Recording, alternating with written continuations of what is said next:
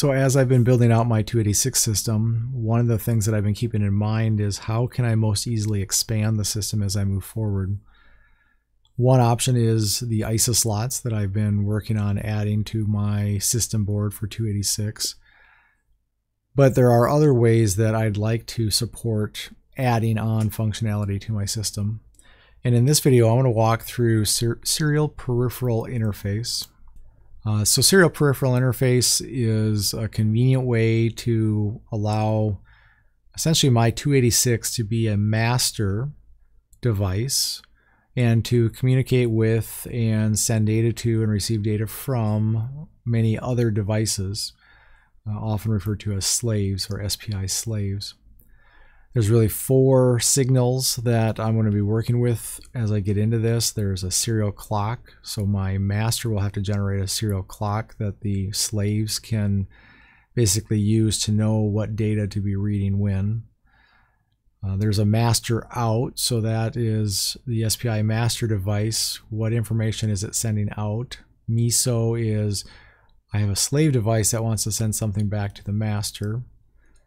And I have chip select. Which slave device am I going to activate from the master? And I can only have one active at a time, and that is done from the master. So in my case, I'm going to have my 286 system be the master, and I'm going to come back to that in, in a second.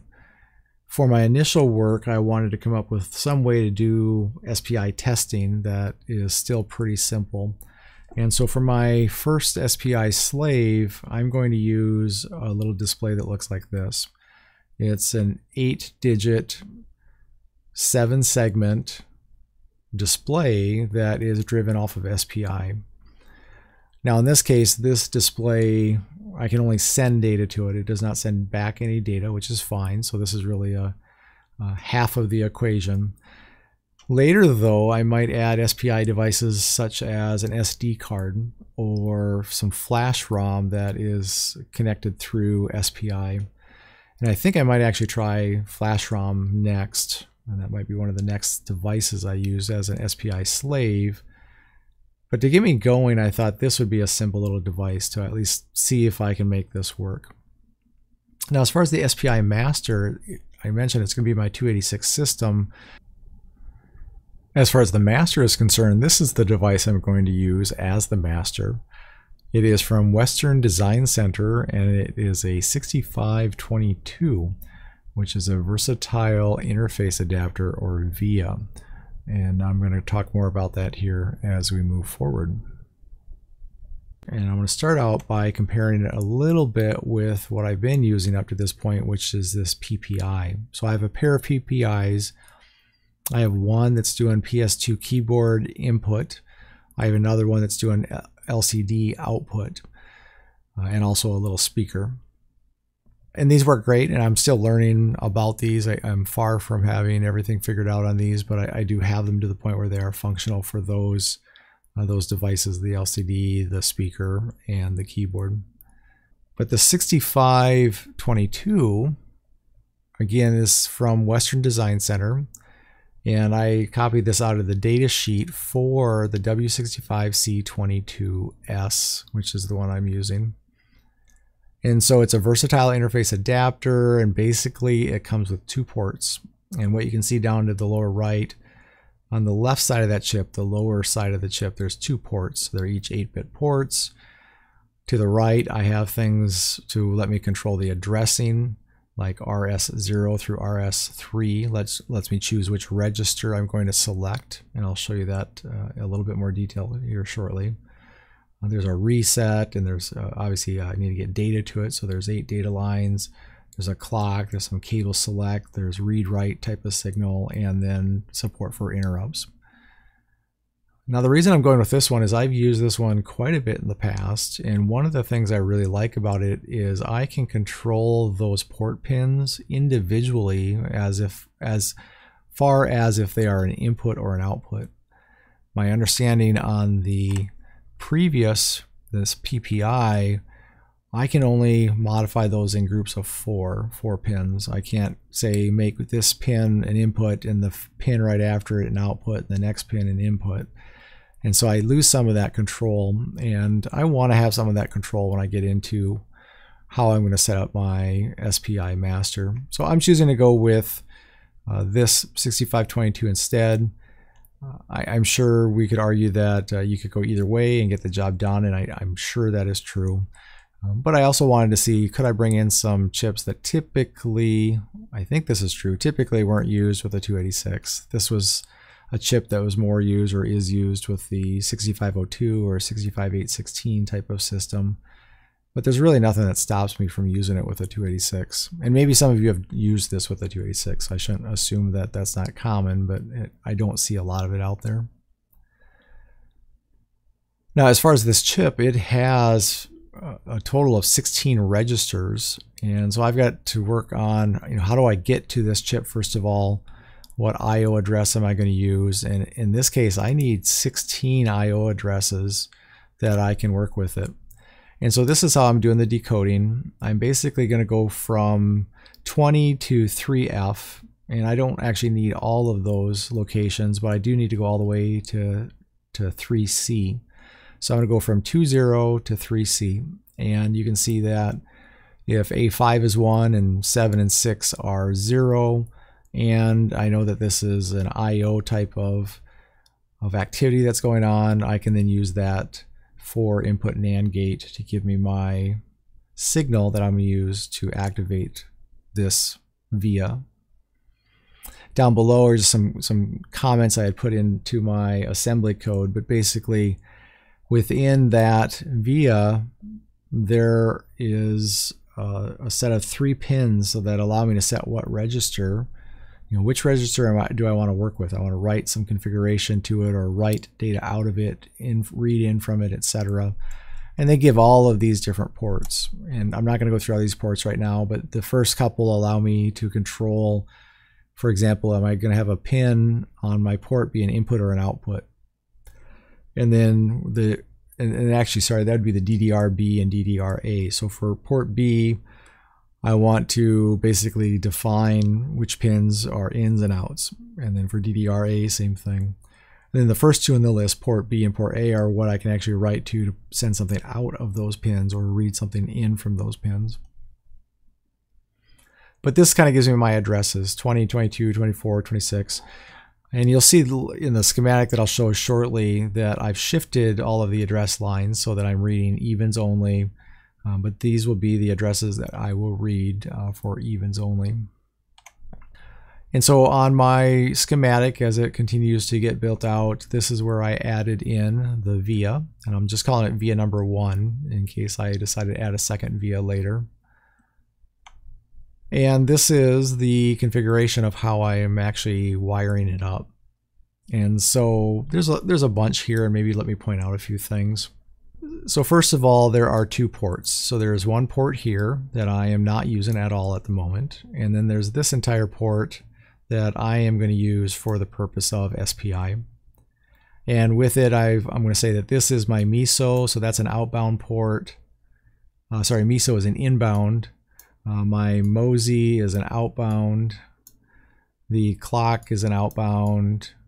And then all of these are outbounds. And these are different chip selects, of which I only need one of them right now, which I'm going to choose to use this one, chip select 1. And so I'm going to have four, four signals that will give me my SPI support for that little display that I showed. And these others can be used for future expansion. And then I brought in my address lines. Again, I shifted it, so I'm not starting with A0, I'm starting with A1 through A4. And then I have my data lines. I, brought in my, I think it's called peripheral clock on my clock generator setting up here, but basically it's the same speed as that internal processor clock.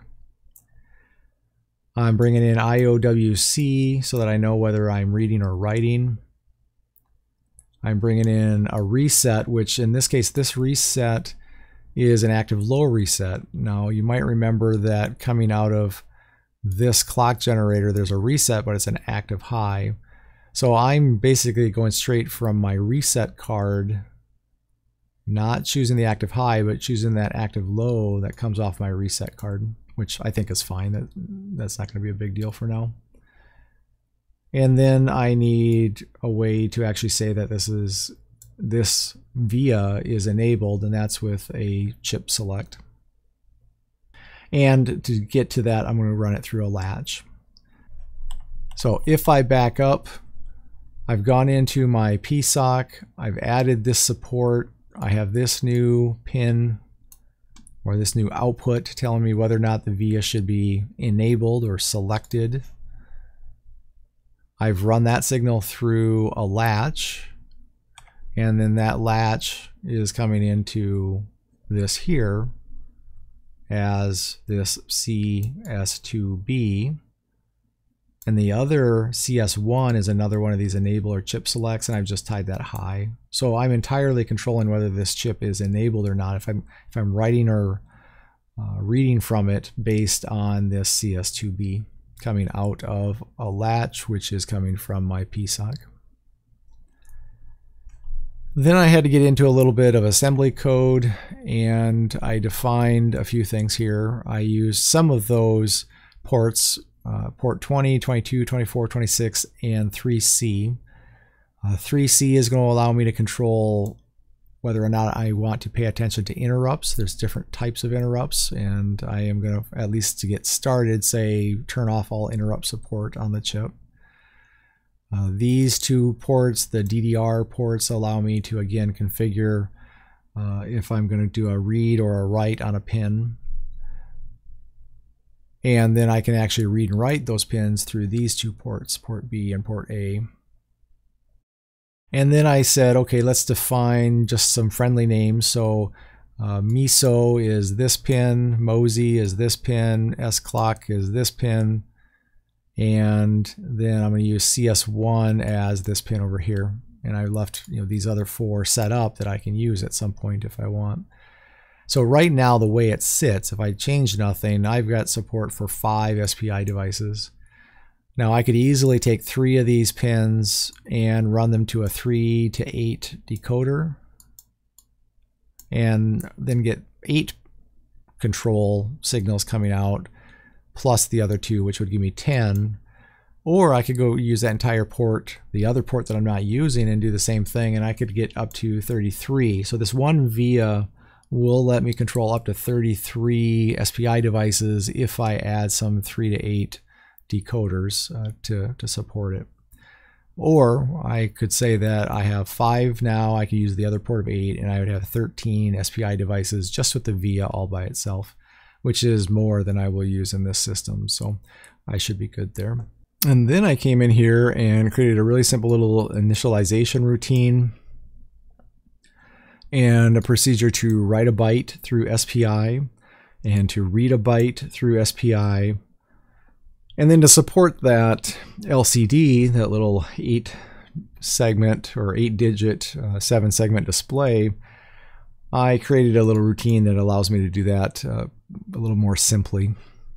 And I'll walk through these in detail here coming up for those that want to keep watching and see some of that detail.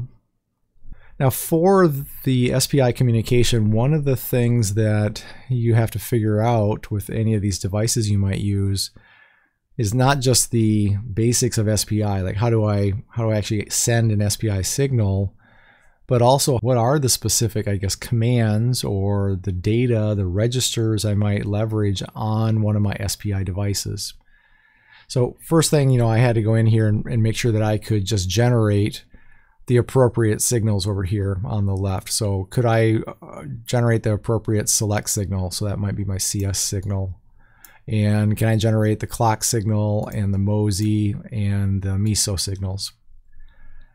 And this is actually an output, and I'll show this in a video coming up that you can see me uh, basically going in and debugging a little bit with a tool. But this tool is just showing me that I have uh, basically a chip select and, and as you're seeing the chip select here it's low this entire duration and it comes up at the end over here. And uh, you can see that I've got a clock going up and down and I'm basically pulsing that clock. So one two three four five six seven eight you know try to pull in my eight bits of serial data. Uh, MOSI is what am I sending out? So anytime uh, basically that the uh, clock shifts, it's going to read, you know, so the clock goes up and it says, okay, you've got uh, a zero, you've got a zero, you've got a zero, and if MOSI is high, it says, oh, you've got a one there. And in this case, I can see that I've got a hex 6 that I'm actually sending. And then MISO is anything that would come back from the device. And, and usually if I send a byte of data, it will then follow on the next byte. in the response, I'll get back from that SPI device. Plus, I could be sending another set of data. So I can send data and be getting the response from my previous whatever information I sent to that device. Now to simplify this, this is why I chose a device that I'm only going to use MOSI. I'm just going to send data. I'm not worried about getting anything back. It's not going to send anything back because there isn't even a, a, wire connected for me to get something back from this. And that's why you'll just see I, I'm always going to read back zeros as I get into this.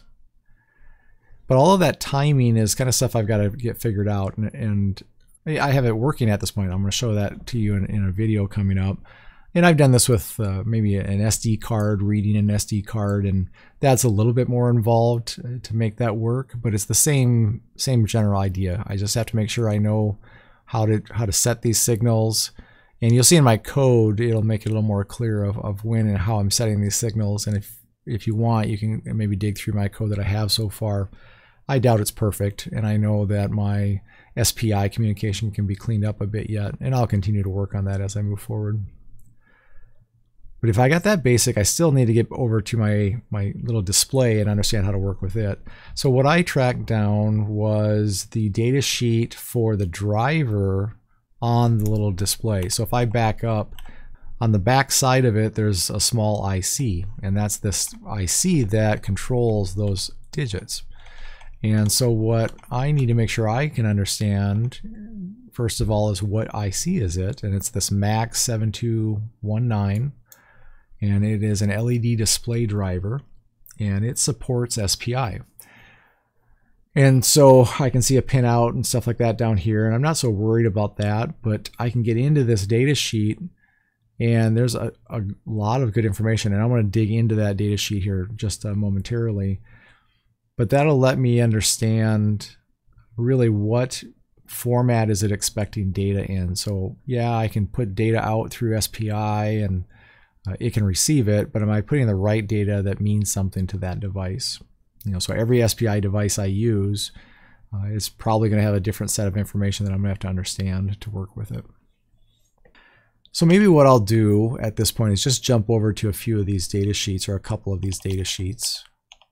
And so you can go out to the website for Western Design Center and you can grab this or just, you know, simply search the internet, a Google search for uh, W65C22S as an example, and you'll get to this document really quickly.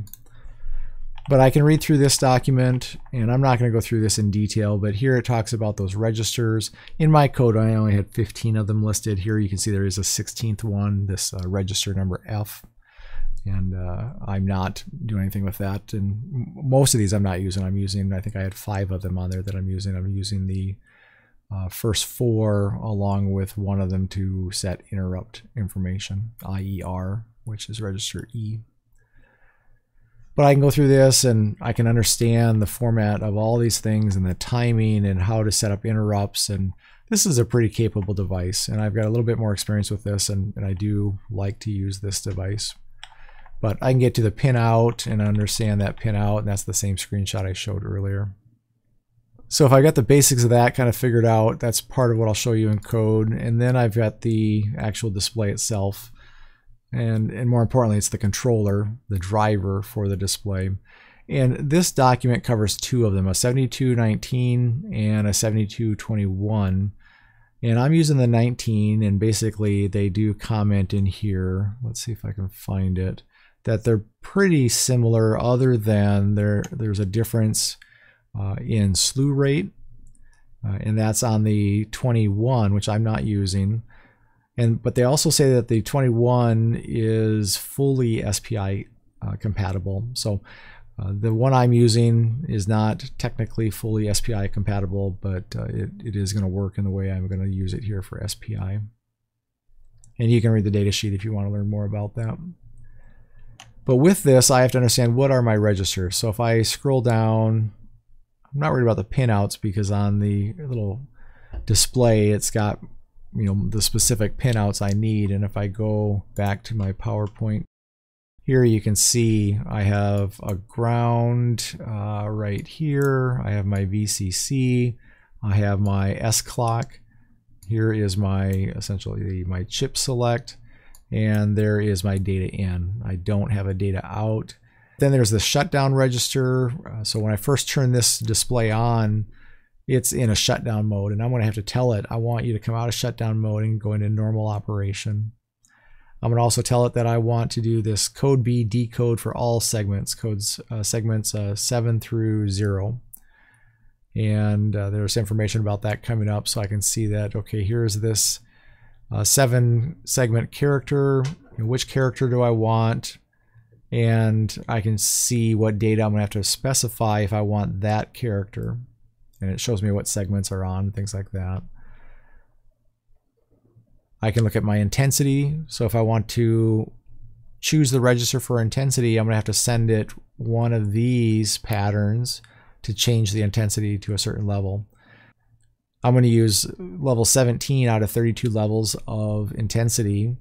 And these four bits don't matter if there's an X, but then I need to have a 1, 0, 0, 0 for those bottom four bits. And that would set intensity 30 of 32, it would set it to 17.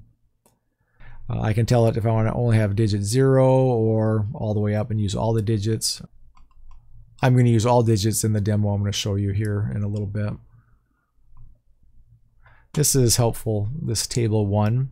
This shows it what I'm going to have to send it in my SPI data. So I'm to have to send it 8 bits and another 8 bits. And the first four of all of that it doesn't even care about ever. But then I'm to have to give it my address. So what address, and that's which register am I choosing. And then I have to give it the next 8 bits that's going to configure whatever for the register. And that's what I was just going through some of those examples. And you'll see that in my code here coming up. Okay, so there's there's a lot there, and what I'm going to do at this point is jump over to my code. And so in my code,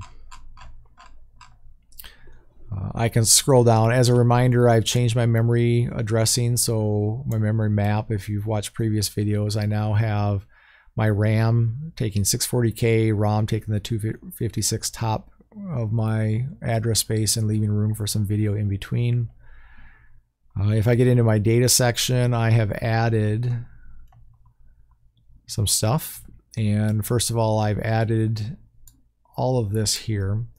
And so I've said, here's a friendly name for port B for my VIA. It's at that address, port A, DDRB, DDRA, and IER.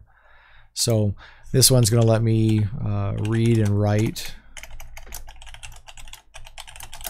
to port pins.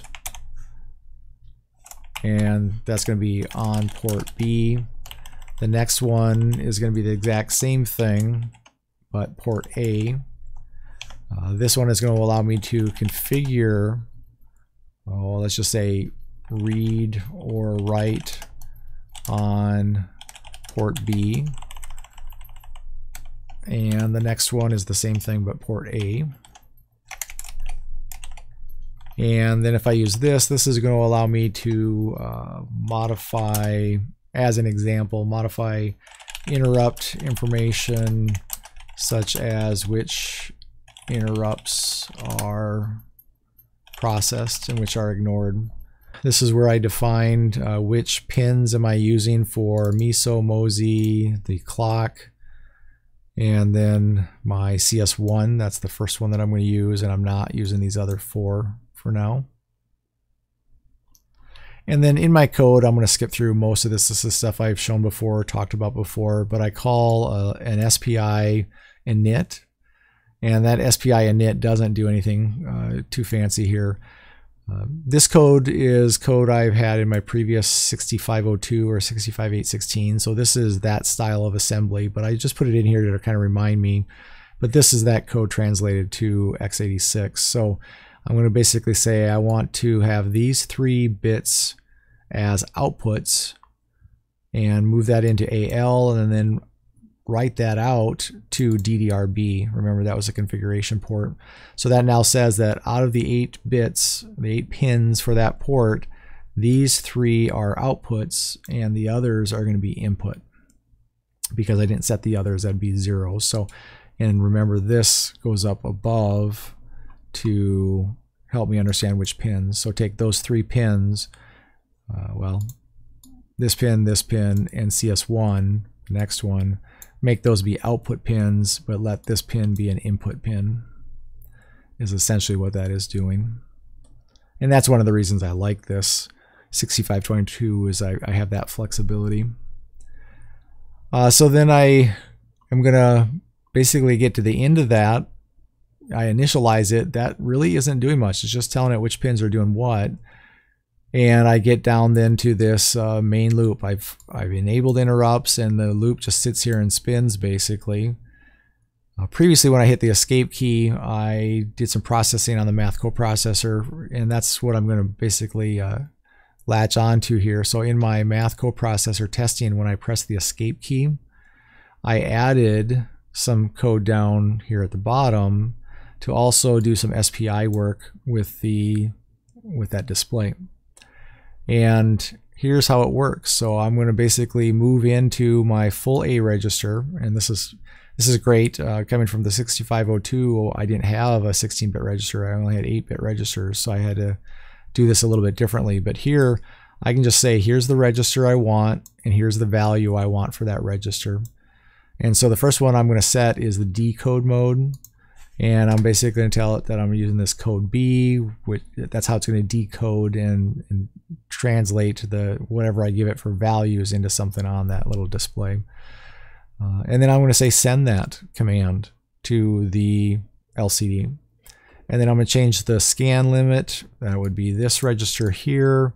And I want all of my segments of, well, not all my segments, want all my digits to be enabled. And then I can set this register, which is my intensity, and I'm going to set it to this value, which is that 17 out of 32. Um, so about half brightness. And then I'm going to go to shutdown mode and choose normal operation. Now you might want to put friendly names in for all this. This is just how I put this in here for now. And I grab these values from the data sheet. Just here's the value of the register. And with that value, here's how I want to set it. Now these are pretty static. I'm going to use that code like you see it most of the time and it's not going to change. But then this code is what's going to what's going to be different uh, in a lot of cases. This says go to the first digit which is on the far right of the display, and put a zero in it.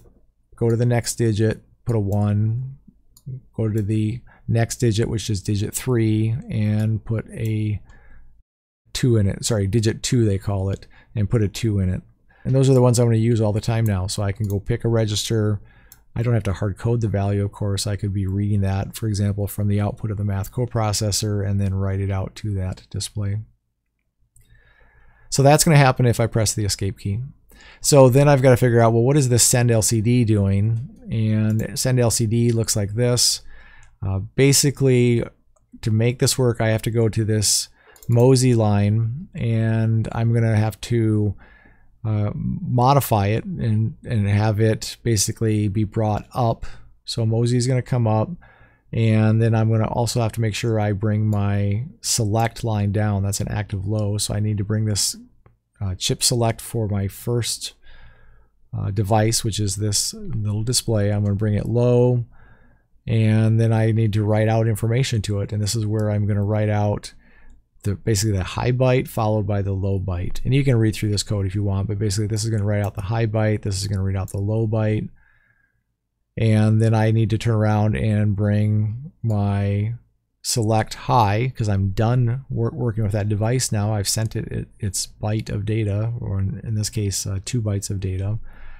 Uh, and then I also uh, keep MOSI high. So this says bring MOSI high, keep it high, and this would have gone low up here for CS1 and then high for CS1. So that's how I'm controlling that CS1 signal. And so anytime I want to send a word or two bytes of data, a register and a value, I can just put it into AX and then call this, and that will get it sent. But inside of this now, it is calling write byte, and so I have to make sure I understand what write byte does, and I can show you what I wrote inside of that. Let me scroll down. Here is uh, basically what it's going to do to write things out. So I've got, I have to tick the clock eight times and work through my bits and get that put out for uh, the the SPI slave to read. And so I just basically run through a loop. I say run this loop eight times. I've got eight bits that I'm going to use. I am going to use the carry flag. So if I have a byte of data, I'm just going to be shifting it left. And as I shift it left, basically that's going to take the, the far left bit and shift it into the carry flag and then I can just say, you know, if it's if it's set, if the carry flag is set, I need to toggle my MOSI. If it's not set, I am going to skip toggling the MOSI. So that's how I'm going to set MOSI high or leave it low, basically. And then I also need to uh, modify and, and, send out my my clock. So my clock will go high. The next time around, it'll, it'll come to a low when I write out to this uh, port B. Uh, but this is allowing me to, to control that, that clock in addition to the MOSI signal as we go here.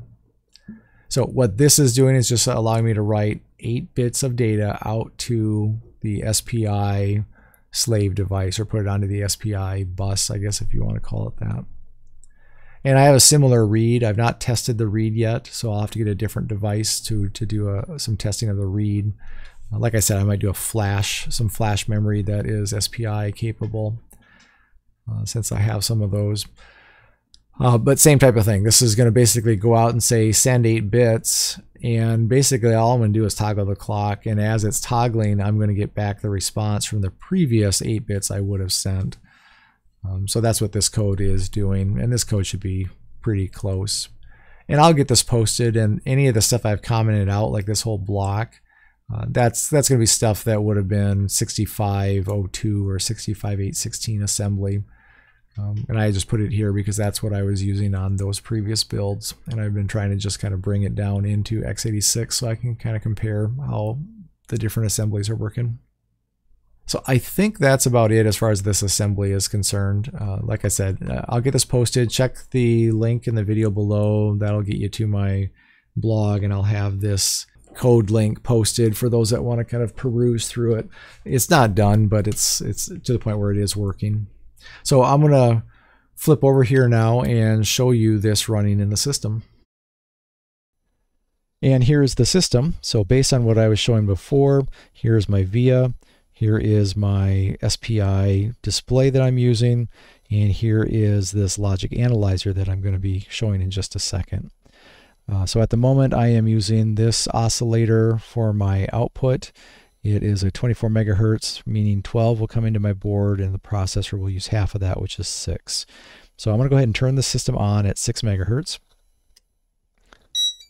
There is my default prompt. My uh, You heard the post speaker likely since I uh, added that little amplifier there for it. And now if I press the escape on the keyboard, there is the math coprocessor test and you can see I also did those SPI calls that we looked at earlier to actually populate this display. I thought it might be kind of neat also to look at how I can troubleshoot and debug this SPI uh, communication.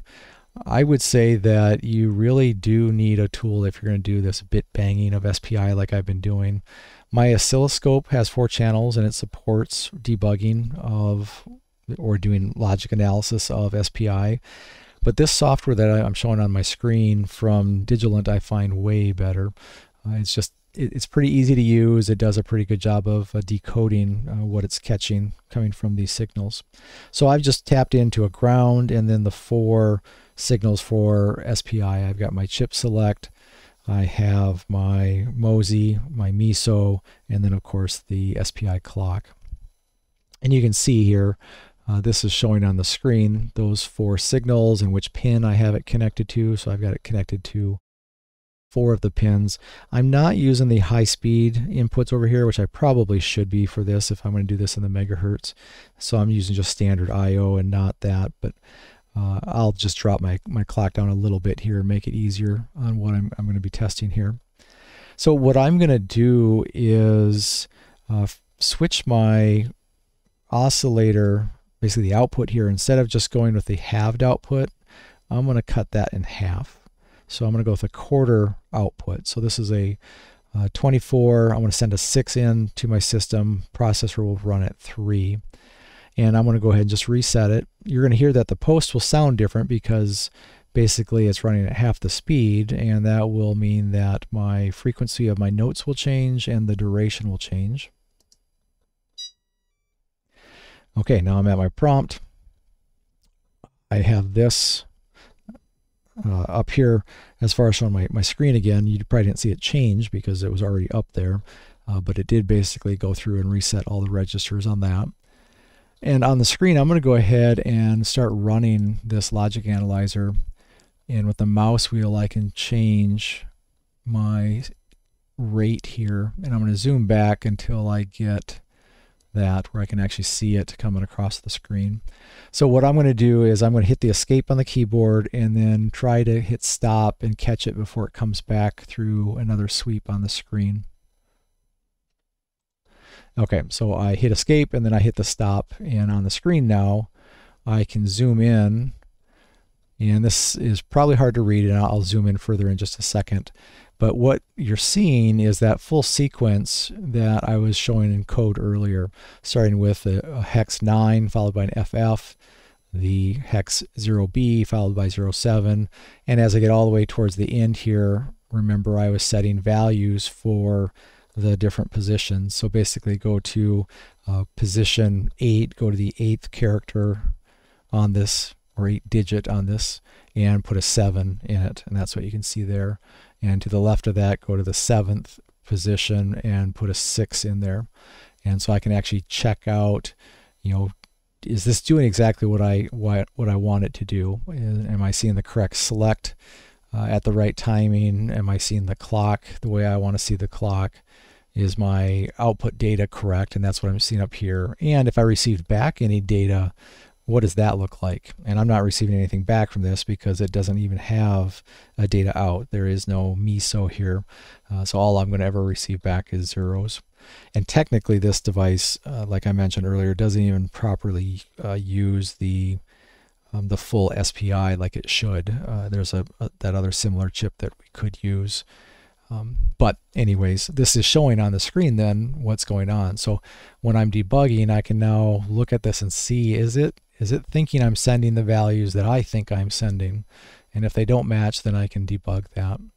And I was running into some of that earlier. I was doing some debugging and it ended up I was reading the wrong uh, the wrong data in a byte in my assembly and I could quickly see that I was getting one byte that looked right and another byte that didn't look right and it ended up being a, a problem with my uh, stack pointer the way I was using it. But handy little tool. And uh, if you're going to do this type of stuff, I would recommend a tool like this or an oscilloscope that supports this uh, type of uh, protocol debugging. My oscilloscope, it has four inputs. It can do SPI, uh, basically logic analysis, but I just find that this tool on the screen works better and it's a lot less money than what my scope is. So that, that tool along with this uh, if you keep an eye out, they have some, typically some pretty good prices on this uh, from time to time. Uh, so that's it for this video. Thanks for watching.